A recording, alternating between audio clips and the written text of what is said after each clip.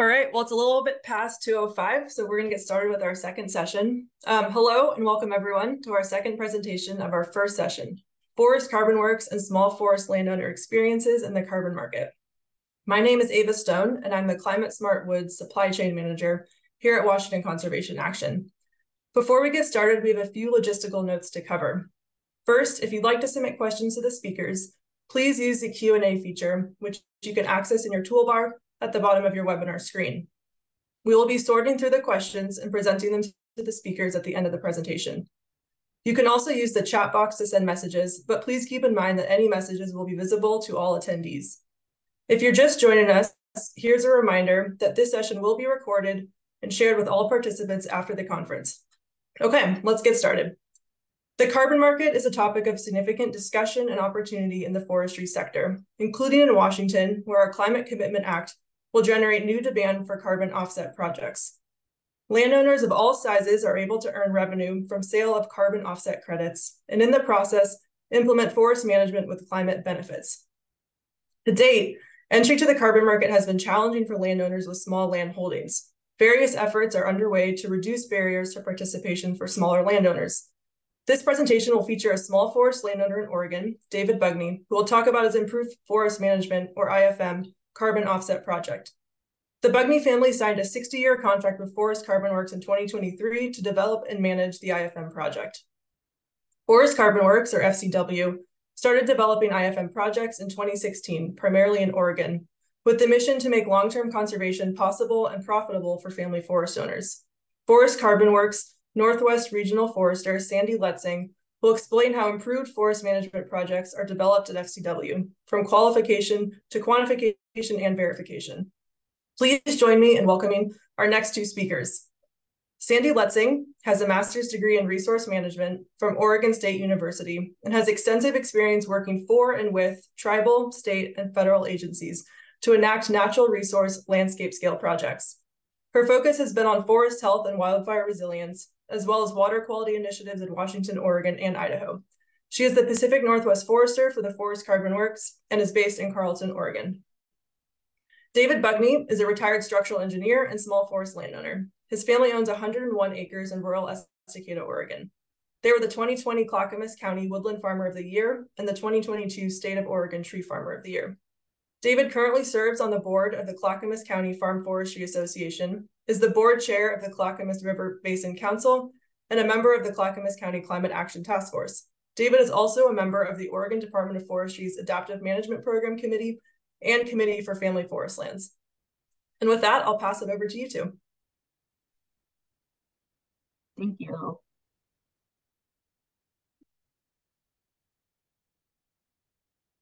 Okay, so hopefully everybody can see that fine.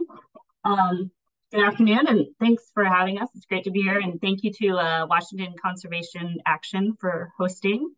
Um, so I'm the Pacific Northwest Forester for Forest Carbon Works. So we work with private forest landowners uh, nationwide, uh, providing access to the carbon market. Uh, previous to this job, I was actually the stewardship forester for a conservation district in central Washington.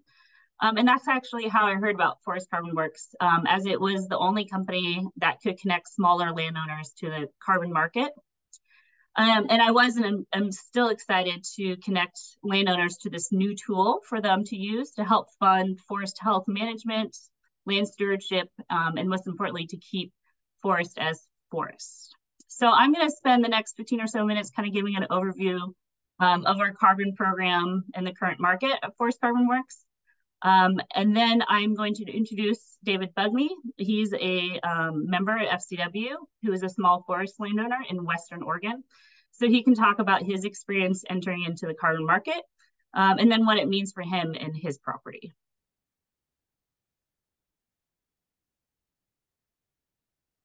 Okay, so why is forest carbon important? Uh, forests um, face many significant um, challenges to generate carbon credits, um, but also there's a huge potential within the United States. So you, the U.S. forest and wood products offset about 16% of all U.S. annual emissions each year. Um, about 60% of our forests in the United States are privately owned. About 40% uh, of those um, are family forests, and the remainder are corporately owned. 43% uh, of private forest landowners are 65 years or older. So that makes them really susceptible to generational transfers, uh, fragmentation, and development when those transfers happen. So that demographic of family forest owners really increases the significance of finding ways to make uh, long-term conservation of forests um, not only possible, but profitable to secure the legacies of these family forest owners to small families um, and in order to keep these forests as forests.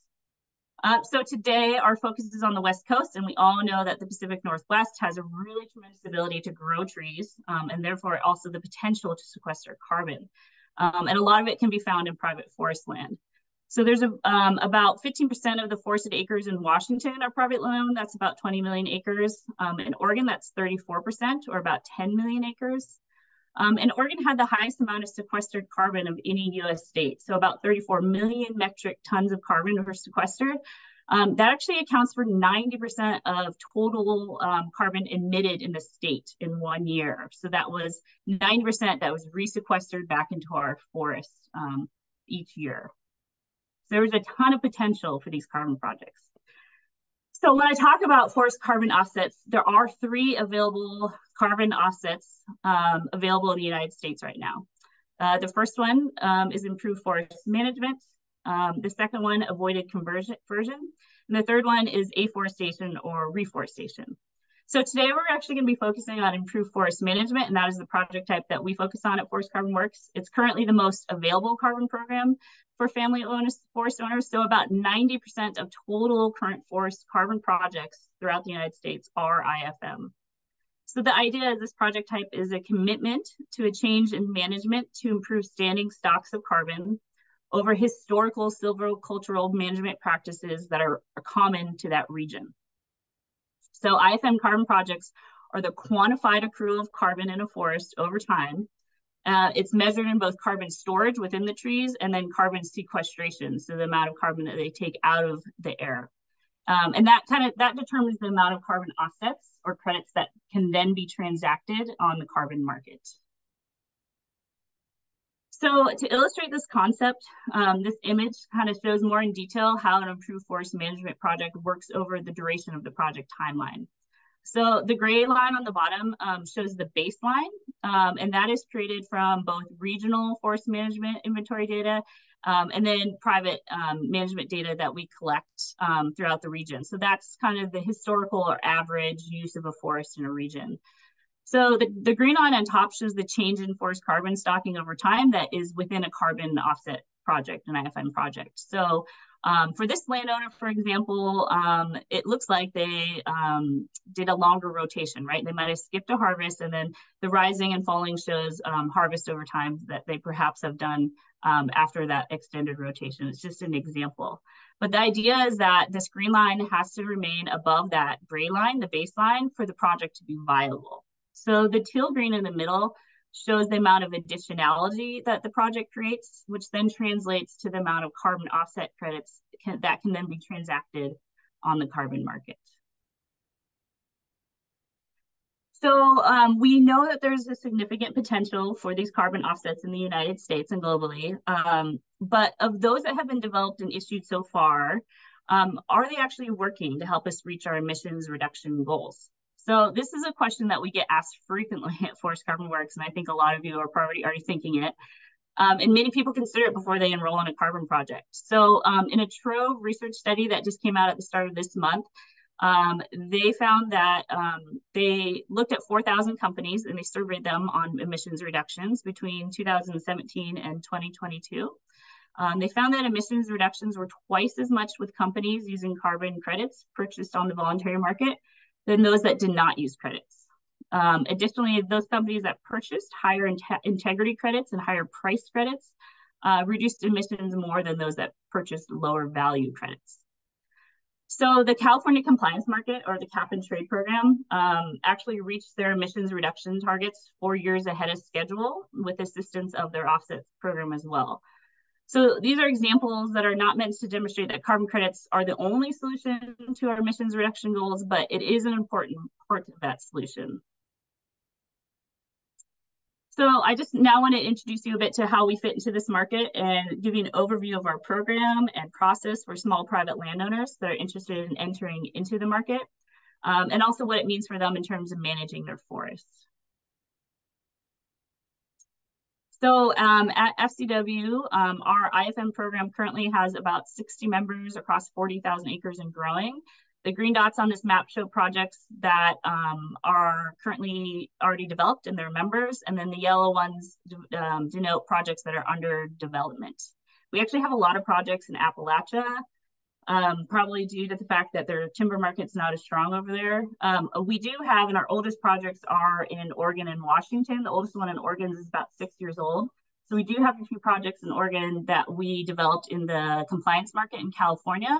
But a few years ago, we switched to the voluntary market um, simply because it was taking uh, too long to develop the programs within uh, the projects within the compliance market. On average, it was taking three to four years. Just the bureaucracy was too much. So we took our program and just shifted all the metrics and how we develop projects over into the voluntary market. And that's where we develop most of our projects now. So just a quick overview for our IFM program. Um, our minimum acreage to participate is 40 forested acres, and we have no maximum. Um, our program is available throughout the continental US and parts of Southeast Alaska. Um, the contract length is 60 years, and that is broken down into two parts. There's a 25 year payment period. That's where we pay the lander per acre per year for the sequestration, sequestration and storage of carbon in their forests. And that is followed by a 35 year monitoring period. So during that 25 year payment period, our uh, members receive annual payments. And then during the 35 year monitoring period, there are no annual payments. Uh, but during that monitoring period, there's real, relatively little oversight on the forest management. And the goal really is to keep forest as forest during this time. So you can't subdivide it or, or develop it into a Walmart.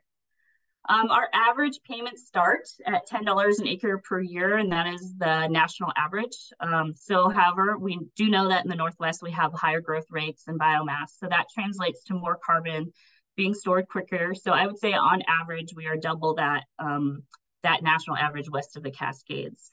And that is reflected in the payments as well.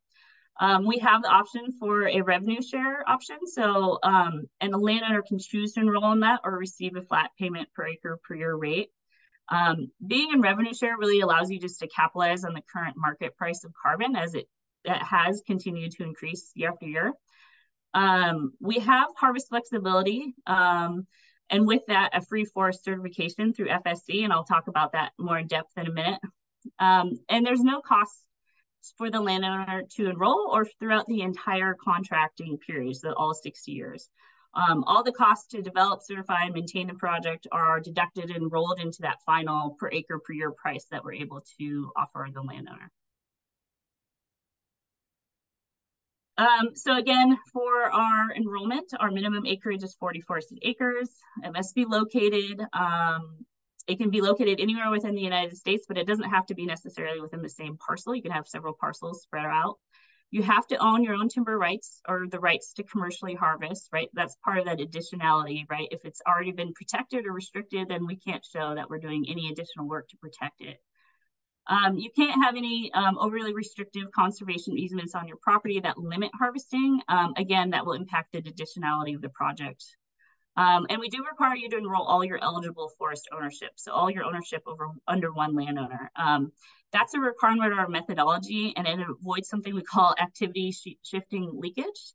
So that's when a harvest activity increases on a portion of your project as a result of decreasing harvest from the carbon project on the other portion of your property. Um, our our team does need to uh, periodic access to your property to complete forest inventories and a harvest inspection if you do plan to harvest. Um, so usually we repeat that inventory every five years. So again, during that payment period, you receive an annual payment of whatever that offer is. Our nation average is 10, of course, more um, probably here in the Northwest, um, or payments that are equated to 25% of that revenue share from the credit sales from your property. You can actually extend the payment period from 25 years all the way up to 50 years in five year increments. So if the program is working for you, you can increase that. Uh, but at the end of the payment period, there's always going to be a monitoring period. You can also extend that monitoring period for up to 100 years. So the total contract length can be up to 150 years, um, or it can be as short as 60 years. Kind of depends on the goals of the landowner. Um, often with longer contracts, what we can do is turn around and sell those credits for a little bit more because you are promising to lock up that carbon for a greater period of time. Um, but it kind of all depends on the goals again of the landowner. Um, so for any commercial harvests in which trees are removed from the property, um, FSC certification is required. And that's part of our methodology. Um, but that, so we are actually um, certificate holders through FSC. So it's free to our members. So we manage all the certification requirements, uh, management plan writing, adaptations, reporting, and audits that have to do with FSC. Um, and you don't have to sell your logs um, to an FSC mill. the harvest just has to be FSC certified. Um, so when we do the initial assessment on the property, we take 10% of the total volume of um, carbon, or it's basically equated to basal area from your property, and we set it aside. And, and we reserve that and never try to sell those credits. And the idea is that um, we set that aside for the landowner to use for any type of uh, forestry practices that they need to complete without worrying um, about affecting their crediting. Um, and so um, we also have a harvest offset fee to allow for harvest needs beyond this 10%. So we just have to model that out and it's kind of based on the landowner. But if you exceed say up to 20% of volume at a time for a harvest, we'd have to model out and see what it would look like in terms of either um, reducing your um, payment for the year or it might pause it depending on how much carbon is removed or volume is removed from the property. But again, that's something that can be calculated and modeled out as part of the decision-making process. Um, David can attest to that, and maybe he'll talk about his planned um, commercial harvest he has um, while in our program. We do have an annual survey that needs to be completed online as a part of our uh, reporting requirements. Um, so things like firewood removals, observed changes to forest health conditions, um, and then we do have um, foresters available on staff throughout each region of the United States, like myself, and that's just to provide, you know, additional forestry assistance to the landowner and make site visits if there's concerns on the property. So that 35 year monitoring period is uh, immediately after the payment period. Again, you can choose to extend that payment period and extend that monitoring period. Um, that's up to the landowner. Um, so it can be as short as 35 years, or you can extend it up to 100 years. But the idea is some people treat it as a an easement on their property, essentially. Um, it also increases the chances that you will be able to, will be able to market those credits for a higher value, and then we'll be able to turn around and pay that um, increased value to the landowner. So again, the responsibilities are much less during this monitoring period. Um, you do have to maintain forest stocking throughout this time. That's equivalent to the amount you're credited for. Um, during the payment period. And that's something we can provide you details of when the transition from the payment period into the monitoring period is completed. Um, FSC certification is not required for the harvest, and there's no harvest offset fee during this time and no annual survey requirements. Okay, so um, in order to um, become a member, uh, we try to make it really easy. Um, we know, and I've heard from that previous landowner that it was really difficult for them to enter into the carbon market. So we do try to make the process simple. Um, so to enroll, you fill out an application online, you go to our website, you complete an online application. It's basically your name, your address, your parcel information. Um, then you'll be connected with one of our regional sales team members. Um, we'll review that application, map it, analyze the property. Um, and in the Northwest, we will probably do an abbreviated cruise to confirm the carbon estimates. Uh, then we can then present you with a membership offer. And if you're interested, you can sign up and enroll. If you do sign up, um, it's about 30 days from when you enroll to when you receive that first payment. So after you enroll, we do complete an on-site carbon inventory to verify your carbon stocks. Um, and we take the project from start to credit sales. And um, after that, you really just have to complete the annual survey um, in order to re remain in the project.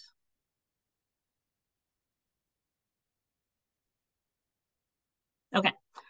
So who are our members? Well, our members really fall into three main categories. Um, forest owners that are family legacy oriented, um, conservation minded, or financially focused. Um, of those that are more financially focused, they're really looking to diversify their revenue streams for a more steady income. Uh, many are considering how carbon payments will help secure their land for their for their heirs. Um, we work a lot with family trusts, and they often put payments into trusts to pay for things like taxes or forest maintenance for their children.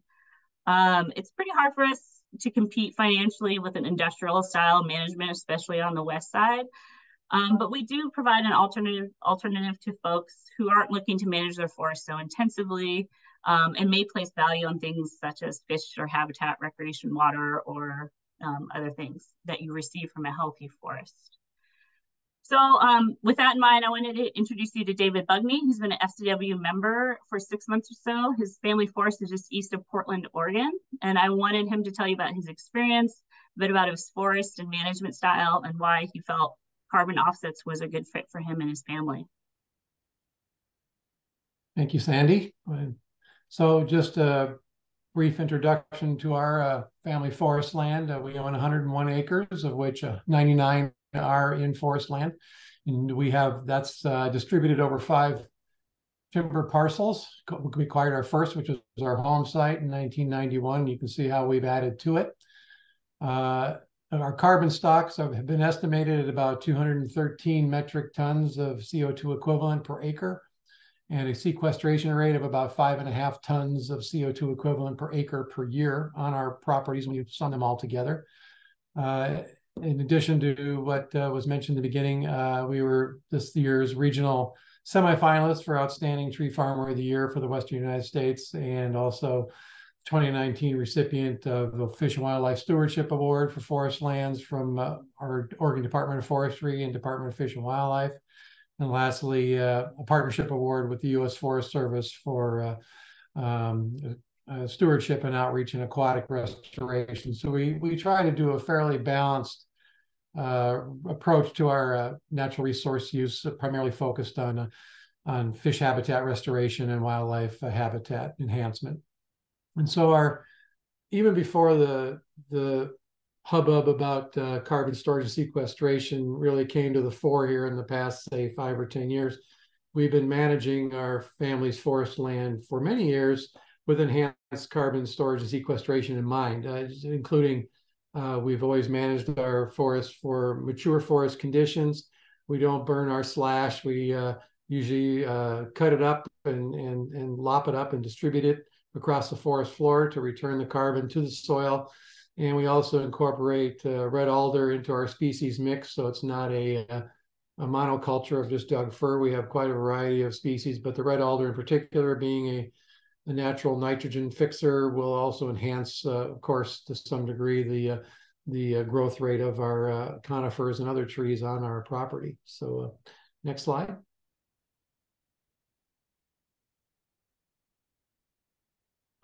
Give you an idea of our property layout. Uh, we're located in a rural area between Estacada and Sandy in Northwest Oregon. So we're approximately 40 miles east of Portland. It's a very rural area. The closest town's about uh, 10 minutes, uh, 15 minutes away by car. Uh, you can see how our parcels are distributed here. We have three contiguous on the right side and then two more contiguous on the left side, separated by, oh, about less than a quarter of a mile. And so we've been purchasing properties that have this uh, salmon bearing stream running through them. And so they all have the creek, uh, or, which is called Sugar Creek, running through it and our stands range in age from seedlings to about 100 years, with an average stand age of approximately 50 years. Next slide, please.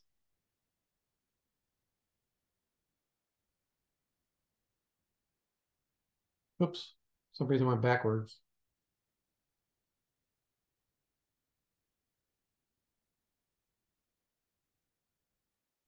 There we go. Should be on the one that so, shows the owl. Uh, okay. Uh, why do we own forest?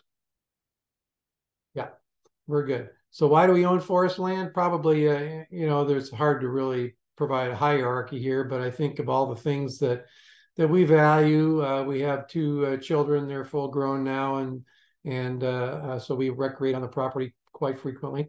And I think we we value nature and wildlife, including, as I mentioned, about one mile of the salmon bearing stream. So in Oregon, it's classified as a medium to large salmon, steelhead, bull trout stream, even though there are no bull trout. That's the classification is. It is in, but it is a very active uh, uh, coho salmon and winter steelhead uh, runs. Uh, we love the beauty of our place and the privacy, uh, being fairly remote. Our closest neighbor, as far as a home, is about a quarter mile away. Uh, recreation, as I mentioned, we're always out there doing something. and then as timber production, uh, we, as I mentioned, uh, we have had thinning done in 2014, which is a commercial thinning. And I'll talk a little bit more about that in a little bit. we also have a planned next thinning, a much larger thinning in about 2030 when that stand is available to thin. And uh, we also look at it as an investment, not only in in the value of the of the saw logs on the property, but in the value of the property itself and uh, we're we're all amateur photographers. So that picture in the uh, lower left is of a uh, northern pygmy owl that had just fledged. So it's pretty cute. Uh, next slide, please.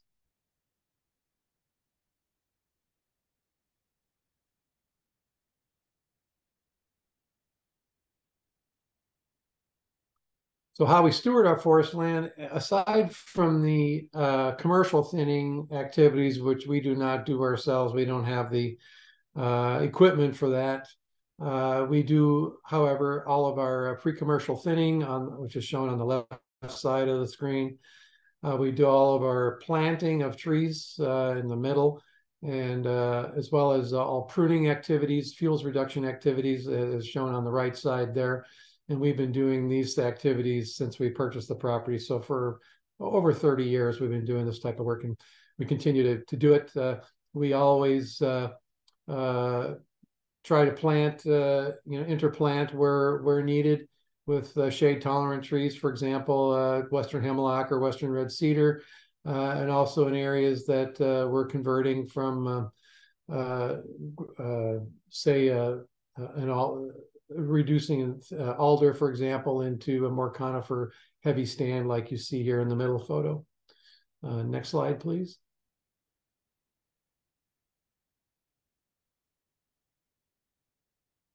We also do other things on the property. Uh, uh, last year, uh, we started to do a, a, wetland restoration as an experiment. It was an area in our area of Oregon.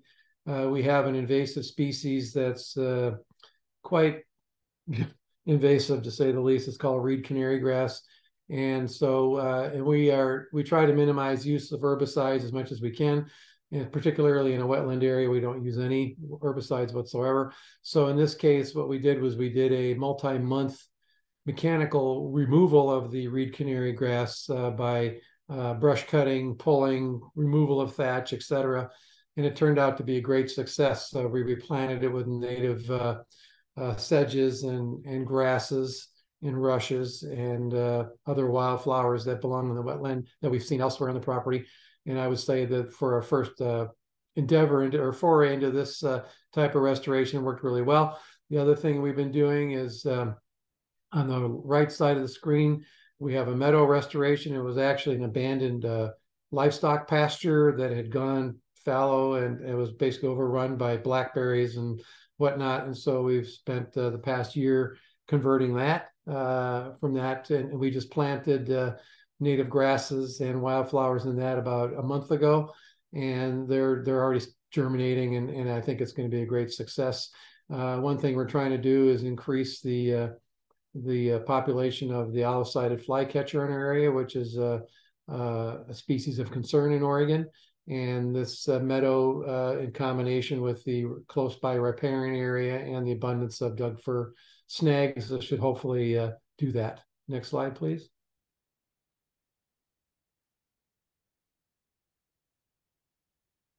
And uh, lastly, we uh, we also uh, participate the bulk of our work in fish habitat restoration.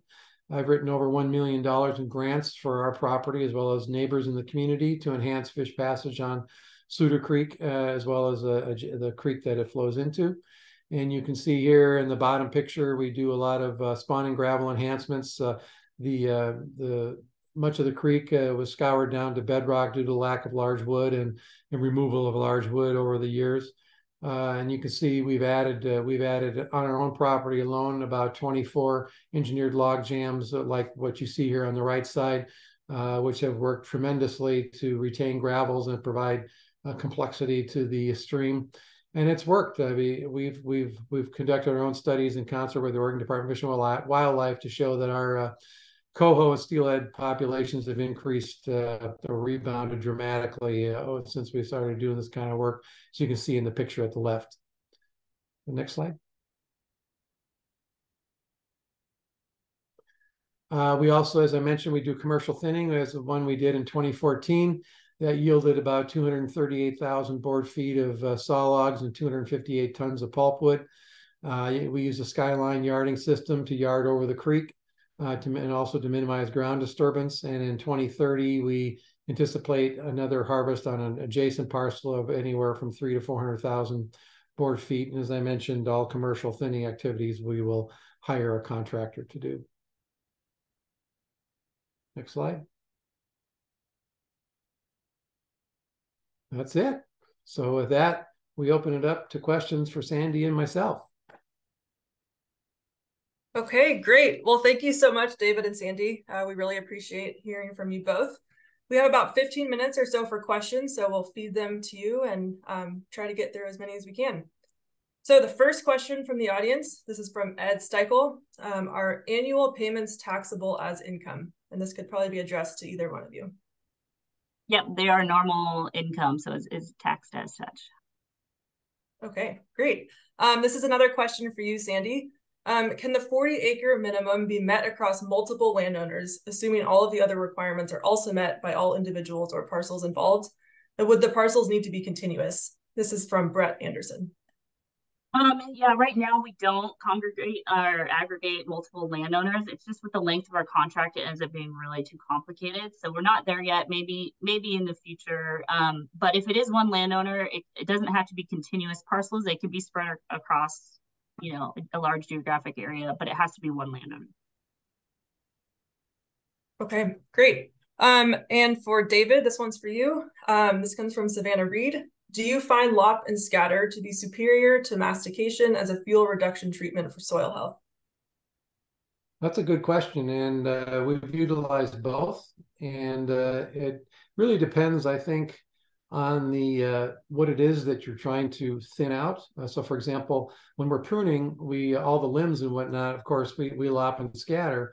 But if you're going to be uh, wanting to thin, pre-commercially thin, uh, for example, a stand of a young stand of Douglas fir, uh, that that you, you know probably the most economical method would be masticating. You know, where you take the trees and you you hire a contractor or rent the machine to do it yourself, and they basically create large shards of of wood that can then uh, you know decompose much more rapidly than the logs itself. But then on the flip side, in my view, it's also important to leave down coarse down wood. So you need that wood uh, to more slowly decompose, not only just to re, to more slowly uh, you know, not allow the carbon to come back in the atmosphere too, too quickly, but also provide necessary wildlife habitat for mammals and amphibians and birds and all that. So I'd say it's there's really no one clear cut solution. I think you look at the uh, the spectrum of what's out there, and so probably the most common are pruning and masticating. There's you know biochar is becoming more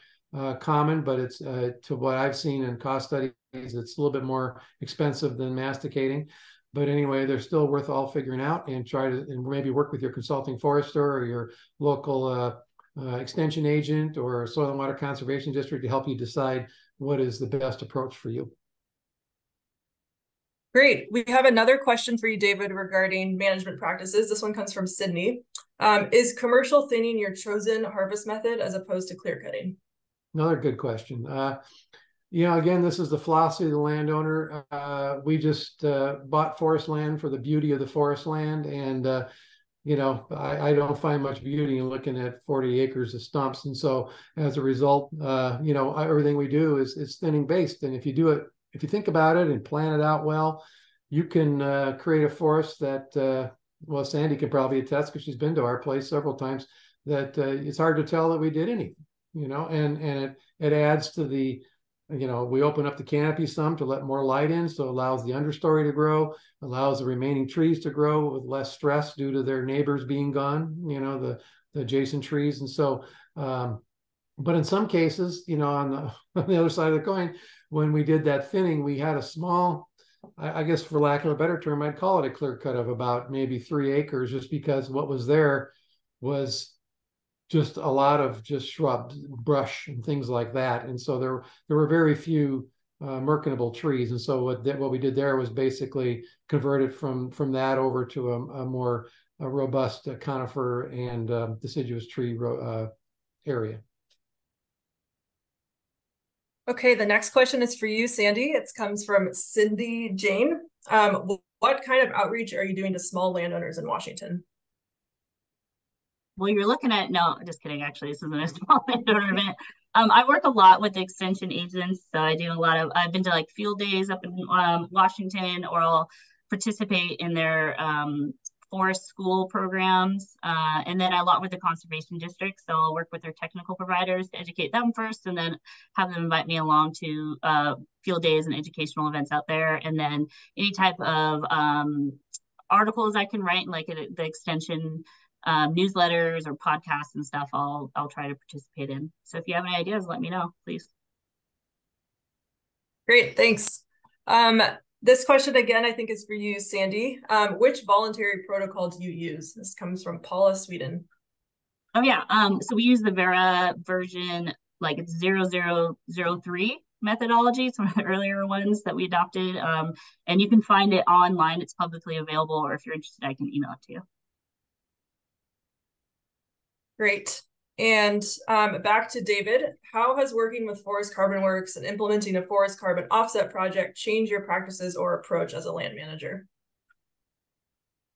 I think uh, that's a good question. I'd say that it really hasn't changed it hardly at all because, as I mentioned at the outset of my part of the presentation, we've been managing for uh, this in, in concept anyway for almost 30 years, you know. So we've been moving toward more mature uh, forest conditions, and, and that allows or that fits in the vein with the philosophy of of, of what we're of forest carbon works.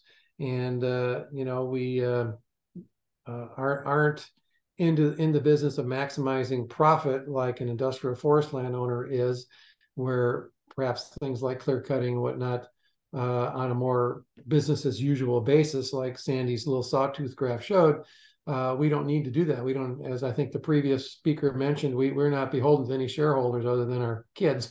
so, uh, you know, that allows us the flexibility of, of entering into these kind of agreements. And so given that, uh, you know, we, we haven't really adjusted anything. And when, when uh, we worked together with Forest Carbon Works, you know, we told them up front, you know, we're going to be looking at a, at a thinning, a substantial thinning in about 2030 of the amount uh, that we're anticipating, and that's probably the last time that we'll be doing anything, at least in my lifetime, as far as I can see. And, and we, our management plan extends out to 2050, so I'll be, you know, 90. So, uh, so anyway, uh, you know, given all that, uh, I, I have I've seen very minimal change in, in the philosophy that we, we originally adopted. Great, thanks. Um, Sandy, this question is back to you and relates to the uh, Washington carbon market. So um, would Washington state landowners have the ability to generate credits under the Washington State Forest Carbon Protocol? Our understanding is, is no, um, because they're in the voluntary protocol, um, but curious to hear your thoughts on this and how you expect the Washington carbon, carbon market will impact, impact um, your organization in the future.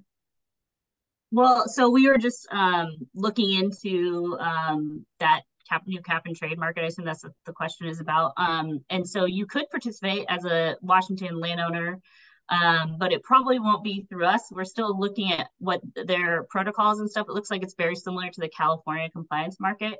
And so those are 125 year contracts. And part of the reason why we didn't participate is really just the length of time it takes to develop a project and it makes it really hard to work with small forest landowners so we're looking at three to four years to develop a project um, and ultimately as a business and and for the landowner it's just too too great of a length of time and investment before you saw a turnaround and so that's why we are in the, in the voluntary market and so um, I don't know. You probably work through. There's a couple of contractors I know who probably would work, but they're looking at larger um, acreage at this time.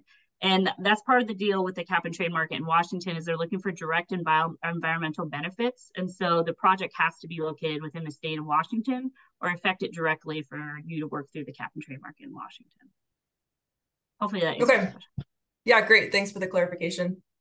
Um, our next question comes from Savannah Reed. Um, how do U.S. Forest Service prescribed fuel reduction treatments fit into your expectations from small forest owners who wish to sell carbon credits? Um, that's a great question. As a West Coast forester, a lot of work I do is making sure that people's forests um, are compatible with our program, but also aren't going to burn down in the next major wildfire. And that's a, a, huge part of the work I did in Eastern Washington. So I'm more familiar with state um, cost share projects um, and their requirements. But in general, if you are working in a dry forest east side of the Cascades, um, and you're removing a lot of, let's say, really small fir in the in the, in the understory, um, so most prescriptions are for removing, you know, 12 inch and under trees in the understory and then pruning up to 14 feet or something like that. If you think about a really large, large 24 inch ponderosa pine and then all those small trees, they ha- they hold nothing to the amount of carbon being sequestered and stored in that ponderosa pine. So there really is minimal impact to the overall carbon uh, project in terms of storage and sequestration when you're doing those types of prescriptions. So 12 inches and, and under in general. Um, within our methodology, we're actually not even allowed to measure trees five inches five inches and under. So that's kind of a freebie if you go through and you uh, masticate trees that are on average five inches or less. that's something we're not even counting. So it wouldn't impact the project. Um, and generally, it relates to better carbon sequestration and storage in the future and reduce risk to wildfire. So it's something that we encourage. Um, so that 10% buffer pool is congregated among all projects. And so every year we look at how much we have left um, and we allocate that to other landowners, usually out west, that are trying to do fuels reduction that might exceed that 10%. So it's something that we can flex a little bit. And we try to work with landowners to make sure that project, that type of work does happen. So it is compatible. And we do often projects with landowners who are doing, you know, cost share fuels reduction treatments. Great, thank you. We have another question kind of related to um, fire and management. Um, is the 10% set aside usually enough to do fuel management for fire control? You, you kind of touched on this, but maybe just a little more expansion. Yeah, yeah. Again, so it, I guess it depends on the landowner, right? And the type of management they've practiced before. Sometimes it's fine, and sometimes it's not. And so if it really is really unmanaged forest and it looks like it, they're going to have to take out a bunch of trees that are larger and really overcrowded. Sometimes i say look you probably going to have to do that before you enter into a carbon um, project. It's hard for us within the first five years of entering into a carbon project to see a big dip, uh, dip in that reduction and, and cross below that baseline. And so if it's a really unmanaged forest sometimes i'll take a look and say do the project before. But oftentimes if it's generally well managed and they're doing again those types of 10 inch, 12 inch and under fuels management treatments for the long term, it won't impact, it won't exceed that 10% or it's something that we can work with the landowner uh, with to make sure it, doesn't impact crediting. Great, thanks. Um, this question is for both of you, but maybe we'll start with David first. Um, improved forest management projects provide numerous social and environmental benefits beyond carbon sequestration. Are any of these benefits incorporated into the carbon credits you develop and if so, how do you go about quantifying or reporting these co-benefits? That's probably a Sandy question because I don't know the answer to that one. um, I mean, yeah, they're a huge part of, uh, of the program. I mean, so technically, no, we know we're not developing, we're not quantifying that and, and turning around, we're not able to sell that. We're quantifying the carbon. That said, often when we turn around and we're selling these projects to buyers, um, we'll we'll highlight projects that are doing projects like David Bugni that might be doing restoration and salmon or um, are looking to conserve an area of really high environmental um, habitat benefit for a certain endangered species. We'll say like we'll highlight that and hopefully we can sell the credits for more and then we can turn around again and pay that landowner more. And so that's what we try to highlight, although technically what we're selling is strictly carbon right now. There's no protocol for other stuff that is great for the forest. But good question. Okay, we are slowly running out of time here. Um, we have a couple more questions that have rolled in. Um, last one here, Sandy, have you worked with NNRG in Washington to help educate more landowners about your program? Yes. Um, I actually know Kirk really well. I cruised his property and we um, mocked up a development of a carbon project on his property so he could see how it's done with the idea of hopefully he understands the process and knows how to educate his landers because they're a perfect fit for our program. Whether or not he enrolls, he's still thinking about it, but um, we did educate him and his um, other folks that he works with to make sure they understand that our program's available for their landowners that they work with. It's a great question. Okay, great. Well, I think that is our time. Um, we really appreciate having you both here, hearing more about your model um, with FCW Sandy, as well as um, your experience on the ground managing your forest, David. So thank you both. Um, and just a reminder to everyone else on the call, you will not need to log out this time. Um, you can just stay on this link on this webinar and we will be back in about 10 minutes. So please take a quick break um, and be back for our next session. Thanks a lot, everybody. Thank you.